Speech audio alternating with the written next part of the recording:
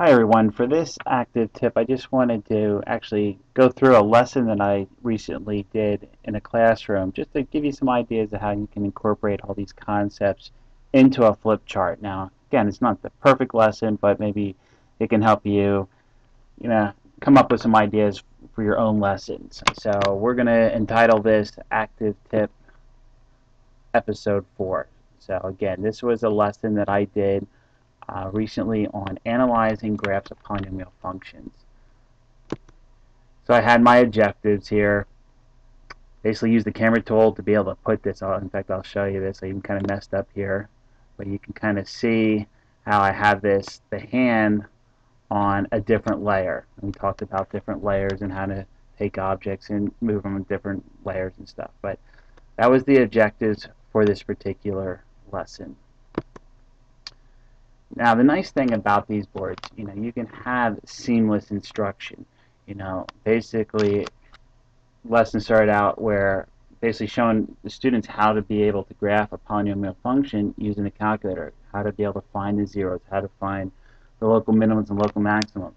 And so I actually have a link, part of my toolbar up here, I actually have a link that opens up a graphing program that's on my machine. So now again, seamless instruction where I don't have to go and quote minimize something and open something else up.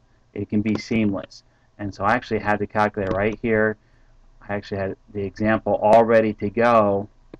So I didn't even have to take the time with the students to go to the y equals screen and type in this problem. I already had it saved where I had this exact problem already entered in the calculator. So I didn't have to fumble around up at the board and then from here, we can see the graph, and then I was able to talk about and demonstrate right in front how to find the zeros, how to be able to calculate the zeros. And again, I was able to go firsthand. So if I wanted to find this zero, I could set the left bound. I'm going to set the right bound. We talked about, you know, the guess, and then you can see the zero right there. It's point at point one 1. And then I was able to use the magic ink to actually show that. So I actually had the answer already ahead of time. Uh, I was able to use the beyond the world beyond the page to have this come in. So little definition about the turning points and the concept of the maximum number of turning points. So again, I had this all set up ahead of time to be able to go over this particular problem. So we can see the entire answer right there. So again, Magic Ink, a lot of different concepts that I talked about in my other active tips. Here we have a question that I wanted the students to be able to try on their own. And it's the first time they're seeing this particular type of question, but I wanted them to look at an example that was in their textbook and then work together. And after enough time, I actually wanted them to see if they can come up with an answer as far as the maximum volume. And this was set up. I actually have a question so that it, we use the uh, Activexpressions. So after about five minutes or so I wanted them to text in their answer. And again the results uh, for this particular problem the first time seeing it uh, I expected them to be relatively low uh, but we went over the answer. And again this was a nice way of revealing the answer I just pull this out and it shows the steps of actually how to set up this particular problem. Showed them a couple ways to reset the window size so they can actually see the graph and be able to find the actual volume, the maximum volume on the calculator. So the answer was 160.58 inches cubed. Uh, again, first time seeing this particular problem, we went over it, we discussed it, um, but then I also show them how they can use a program called GeoGebra to actually calculate the answer. And then we have a follow-up question. And now this time I expected the results to be a lot better after seeing how to set up this particular problem. So uh, gave everyone a chance to be able to type in this answer. And what's nice is this right here is a link. Again, seamless. It's real easy to insert a link takes me to this particular site where I created a GeoGebra problem that's set up for this particular example where I have a sheet of paper that's 10 by 6. And what's nice about GeoGebra is I can manipulate this. Again, this is the answer for this particular problem, but I could actually move the sliders and set up a different problem.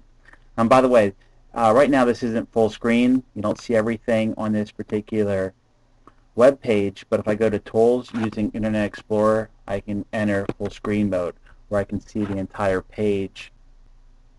Uh, what's nice about this is, again, I can use these sliders and change the problem. So if I had a sheet of paper or a cardboard piece of cardboard had say dimension 6 by 8.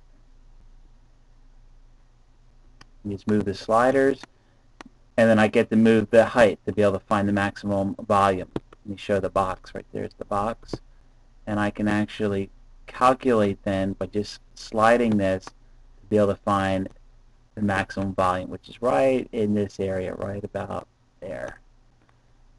So for this particular problem, th this would be my dimensions of my box, 3.74 by 5.74 by 1.3, or this is the height, and then this would be the volume, the maximum volume for this particular box where you're cutting out the pieces. So GeoGebra is a great product, and there's so much that you can do with uh, GeoGebra, and it really brings many math concepts alive. So if you want to check out GeoGebra, there are some uh, samples that I have on my website. So if you have the chance, you know, open up, uh, go to my website and look for the page where I have some GeoGebra samples. It's great. Plus, we're going to be offering a workshop for uh, on GeoGebra for all the math teachers. Okay, now this also is going to reveal the answer again. I had this set up for the Activexpressions, so students were able to do the problem and then pick up the Activexpressions and then type in their answer, and I was looking for the volume. This is going to reveal the answer, and again, they were able to either use a calculator or I actually had the laptops where they could also use the GeoGebra program to type in the function and be able to find the local maximum and the y value of the local maximum is the actual volume then. So the y-axis is really the volume of the particular box. Okay, after, after going over that example, what I did, I have a couple more questions for the uh, response systems, the Activexpressions. So I wanted them to try this problem to pick out the equation for this particular function just based on looking at this graph. I didn't want them to actually use the calculator. I didn't want them to actually have to type in each of the functions to see if it matches up. So if they use some concepts of like end behavior and the idea of the y-intercept, it's pretty easy to be able to find the correct answer. Same way with this last problem here, where I was able to go through and have the students be able to Then I gave them some problems to do in the, in the in their book, and they were able to use the laptops. They were able to use the GeoGebra program. And actually, just real quickly, I'll show you that I had some examples. Again, this is a link to the GeoGebra program. So, so for this particular example, uh, they had to, it was a word problem in the book, uh, number 36 in their textbook, where it was dealing with uh, pounds of oranges and years since 19 91 until we need a new textbook. Anyway, they needed to find the turning points. And again, by using this program, it was real easy to be able to find the answers. So if I actually change my view,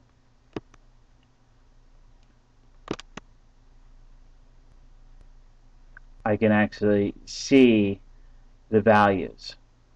Real easy to use. They just had to type in the function from the book, and then they were able to find the turning points, and then they had to relate that, what that actually meant. Okay?